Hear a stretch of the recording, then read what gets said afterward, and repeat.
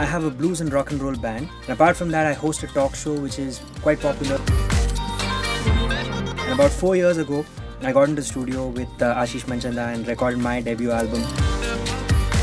And we were nominated in the Best Rock category and we won in 2015. It was a lot of fun doing that.